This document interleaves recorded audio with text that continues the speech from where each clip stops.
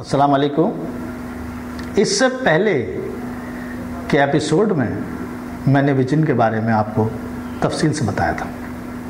میرے پاس اکثر یہ سوالات آتے ہیں ان بچوں کے جنہوں نے ابھی انٹر کیا ہے کہ ہم کیا کریں۔ انٹر انہوں نے سائنس سے کیا ہوتا ہے، یا تو انجینئرنگ یا پھر پری میڈیکل۔ اس کے بعد ان کو انجینئرنگ کالج میں داخلہ نہیں ملتا اور جنہوں نے میڈیکل میں کیا ہے، ان کو میڈیکل کالج میں نہیں۔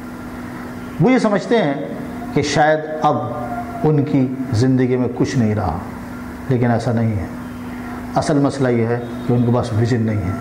ان کو صرف دو راستے دے دیے گئے تھے اور اس دو راستوں کے پیچھے وہ بھاگ رہے تھے کہ بس صرف میڈیکل یا انجینئرنگ۔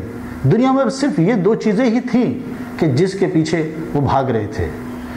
وہ سمجھتے تھے کہ یا تو ہم انجینئر بنیں گے یا ڈاکٹر، لیکن جب میڈیکل کالج میں، انجینئرنگ کالج میں داخلہ نہیں ملا، تو ان کو ایسا لگا کہ اب شاید دنیا میں کچھ بھی نہیں ہے۔ ایسا نہیں ہے۔ صرف اس دنیا میں ڈاکٹر، انجینئر ہی کامیاب نہیں ہے اس کے علاوہ بے شمار ہزاروں پیشے ایسے ہیں کہ جس میں آپ داخل ہو کر کامیابی حاصل کر سکتے ہیں۔ اگر آپ کو انجینئرنگ کالج میں داخلہ نہیں ملا، تو آپ کے پاس جو آپشن ہیں نمبر ون، آپ بزنس ایڈمنسٹریشن میں بی بی اے کر سکتے ہیں۔ جس طرح آپ انجینئرنگ کی چار سال کی آپ تعلیم حاصل کر سکتے تھے، اس طرح آپ بزنس ایڈمنسٹریشن کی چار سالہ تعلیم حاصل کر سکتے ہیں۔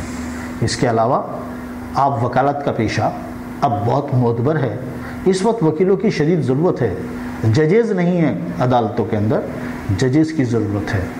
اچھے لیگل کنسلٹنٹ نہیں ہیں۔ لیگل کنسلٹنٹ بن سکتے ہیں آپ۔ وہ بھی اب پانچ سال کا پروگرام ہے۔ اس کے علاوہ ادر سائنسز کے اندر آپ ماسٹرز کر کے ایم فل کر سکتے ہیں اور اپنی ایک الگ سے ایک فیلڈ بنا سکتے ہیں۔ کوئی فیلڈ کسی انسان کو کامیاب نہیں بناتی۔ اصل میں وہ انسان ہوتا ہے جو اس فیلڈ میں کامیابی حاصل کرتا ہے۔ اصل وہ انسان ہے۔ وہ جس فیلڈ میں ہوگا، اس میں کمال حاصل کر سکتا ہے۔ اصل انسان ہے فیلڈ نہیں ہے۔ یہ صرف یاد رکھنے کی بات ہے۔